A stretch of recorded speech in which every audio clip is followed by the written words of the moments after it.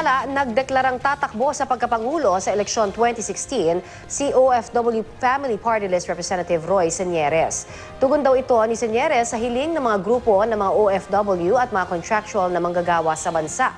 Ayon kay Senyeres, tatakbo siya sa ilalim ng partido ng manggagawa at magsasaka na accredited daw ng COMELEC. Isa umanong lalaking religious leader ang kanyang magiging running mate habang binubuo naman daw ng mga OFW, guro at Muslim ang labing dalawa niyang senatorial can- candidates.